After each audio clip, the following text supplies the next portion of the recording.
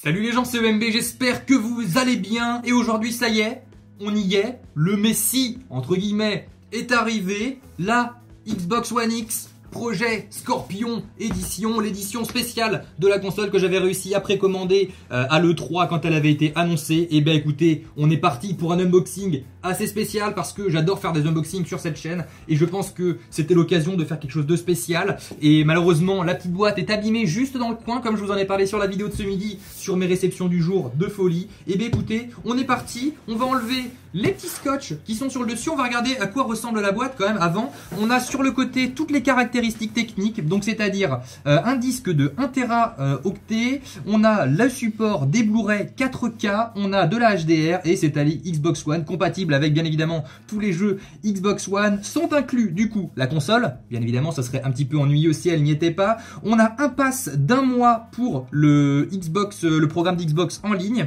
On a bien évidemment le câble HDMI, ça fonctionne en Wi-Fi. On a aussi un socle vertical pour la console et ça c'est vraiment très très bien qui nous mette le socle à l'intérieur et on a également du coup une manette pour la console. Ça serait ennuyeux de ne pas en avoir non plus. Et de l'autre côté on a exactement la même chose. En dessous il me semble que j'avais vu ça. On a les précautions d'utilisation qui sont marquées en dessous. Voilà c'est absolument inutile pour vous mais comme ça au moins eh bien on a fait le tour. Et on est parti, on enlève les petits euh, les petits scotch qui sont là. Alors moi ce que j'aime bien faire c'est les enlever proprement mais pour cette vidéo je vais juste les couper. Je les enlèverai après moi puisque je garde toutes les boîtes et que je suis un fou des, boîtes. J'aime bien garder les boîtes. Et on va s'ouvrir ensemble, regardez. La petite musique de Zelda que je continue à faire moi-même parce que je l'ai toujours pas trouvé. Et alors du coup on a le petit abonnement qui est sur le dessus. Regardez, je vous la montre comme ceci. Regardez, l'ouverture de la boîte. Avec du coup, ça c'est les abonnements pour le Xbox Live Gold et le Xbox Game Pass. Avec également euh, la prise en main, pour savoir comment ça fonctionne. Oula, si je fais tout tomber, ça va pas le faire. Et je pense que ce qui est cool, c'est que on a juste à tirer et on va savoir comment exactement brancher la console. Je vais peut-être bouger un tout petit peu la lumière. Voilà, on est un petit peu mieux. Et voilà, ça nous explique exactement comment faire pour brancher la console. Pareil de l'autre côté, il y a juste à suivre techniques. On va pas la brancher dans cette vidéo, on va vraiment se concentrer sur l'unboxing. Donc ça, on le met de côté. Et du coup, on va pouvoir directement enlever ça. Alors du coup, on va se réserver la console pour la fin puisque c'est quand même le plus important et le plus beau. Autant se laisser la hype. On enlève ça, je mets la boîte juste là de la Xbox. Alors, qu'est-ce qu'on a? Oula, ben, ça tient pas très bien, ça vient de me lâcher dans les mains. Regardez, la boîte m'a lâché dans les mains. On va voir ce qu'il y a dedans exactement. Donc ça, c'était censé être le capuchon, je pense que c'était dans l'autre sens. Je pense honnêtement. On a le câble HDMI qui est là, qui m'a l'air plutôt long. On va vérifier un petit peu la longueur tout de suite. Voilà, autant être assez exhaustif dans cette vidéo. Il doit faire 2 mètres. Je pense que c'est un câble de 2 mètres, ce qui est largement suffisant, soit dit en passant. Mais, euh, mais c'est pas exceptionnel non plus. En même temps, on est sur des longueurs qui sont à mon avis, euh, qui sont à mon avis standard. Donc c'est très très bien. Ensuite, on a bien évidemment le câble d'alimentation qui est là. Câble d'alimentation qui doit faire... Euh, qui doit faire qui doit faire un mètre. Je pense qu'il fait un mètre. Donc excessivement long. Moi, j'aurais bien j'aurais préféré du coup un câble un tout petit peu moins long pour l'HDMI et un câble un petit peu plus long pour l'alimentation secteur. Mais l'un dans l'autre, ça passe quand même. On a du coup la manette qui est là et c'est la manette qui est assortie au, à, la, console, c'est-à-dire au projet Scorpio. Et normalement, on a quelque chose de spécial. Le petit logo du projet Scorpio, le projet Scorpio Edition. On va voir à quoi elle ressemble exactement. Et elle est là, oh mon dieu, je, je la trouve tellement belle en noir mat comme ça. Et voilà, la regardez, elle est là.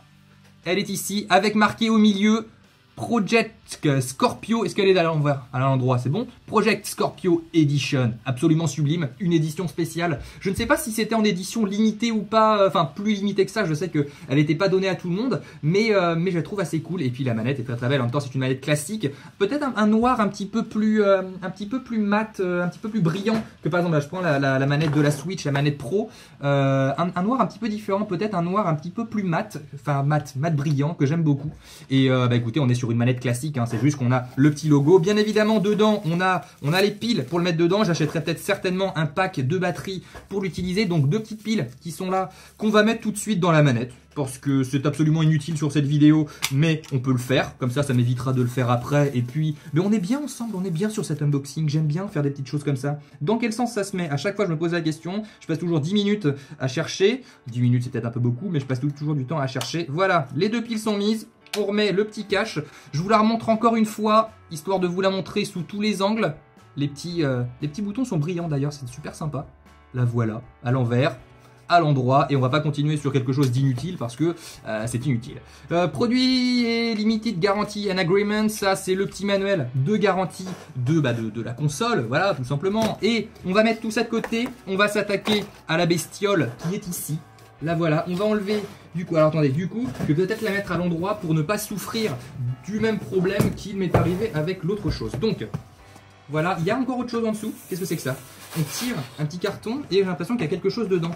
Il y a quelque chose dans ce carton. Alors qu'est-ce que c'est dans ce carton? C'est alors ça c'est le support vertical. Ok, ça c'est le support vertical pour la console qui est ici.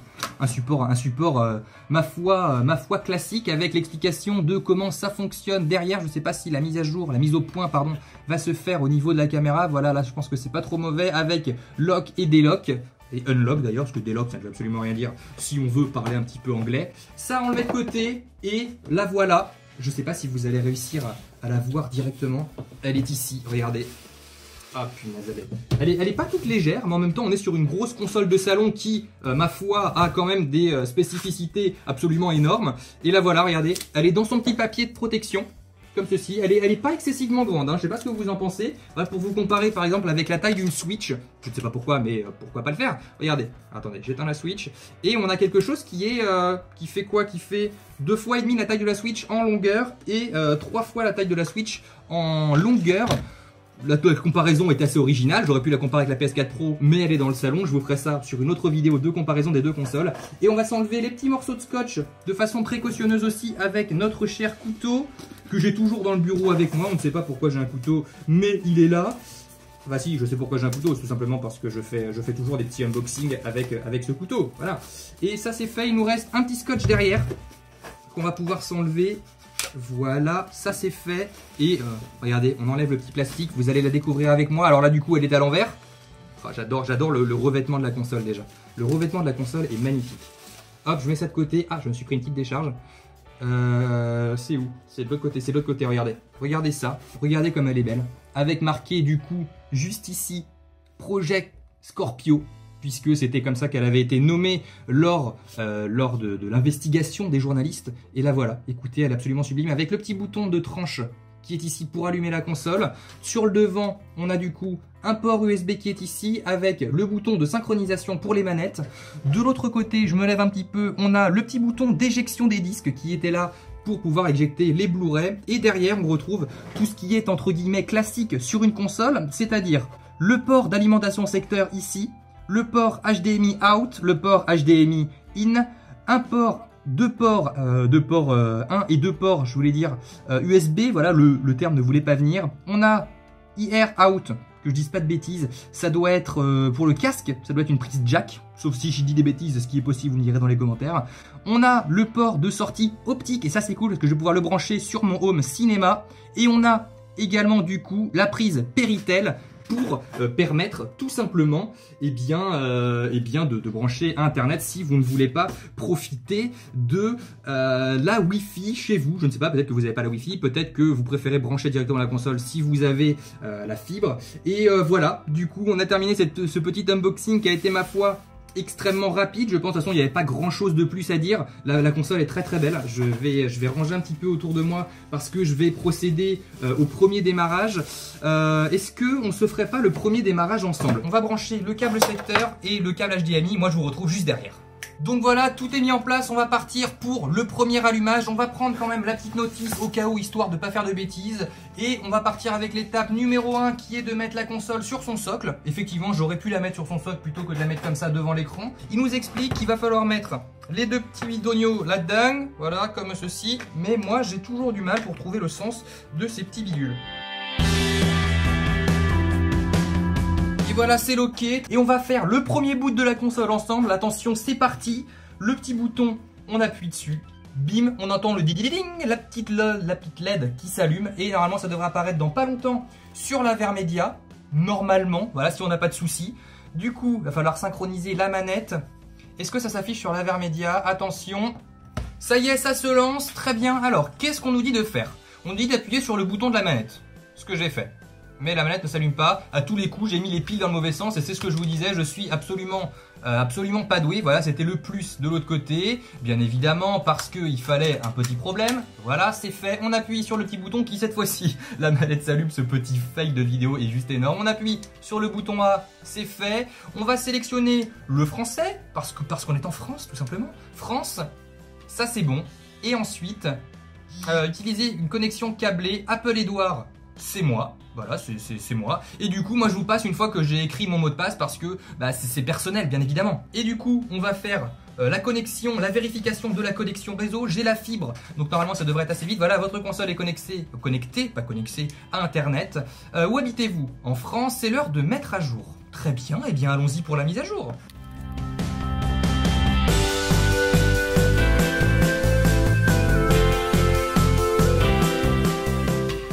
Et puis, quoi de mieux pour patienter que de se faire un petit Mario Odyssey hein Si vous ne l'avez pas et que vous n'avez pas la Switch, je vous conseille de regarder le test sur la chaîne. Voilà, ça fait un petit placement de vidéo parce que c'est comme ça, parce que j'ai envie et que ben, euh, je suis en train de jouer à ça, donc euh, ben, l'un dans l'autre. D'ailleurs, c'est en train d'accélérer. On est déjà à 66% euh, de la mise à jour en cours, donc ça devrait aller très très vite. Et pendant ce temps-là, moi, eh bien, je continue mon petit Mario Odyssey. Allez, en avant. Et voilà, ça y est, les 100% sont terminés. C'est l'heure de mettre à jour. Et eh bien, c'est fait. On va euh, mettre de Mario de côté. Hop, je le remets dans son dock. Puisque, puis, vous vous connecterez à votre compte Microsoft. Très bien. Eh bien, euh, oui, ok, très bien. Si vous avez besoin d'un nouveau gamer tag, c'est l'adresse email, le mot de passe que vous utilisez pour Skype, Outlook, Windows 8, patati patata. Il faut que je rallume la manette parce que sinon, ça fonctionnera pas. Depuis le temps qu'on est là à faire euh, la mise à jour. Ok, très bien. Donc, voilà, ça c'est fait. Le prénom, on va s'appeler EM. Voilà. Et le prénom, mettre B.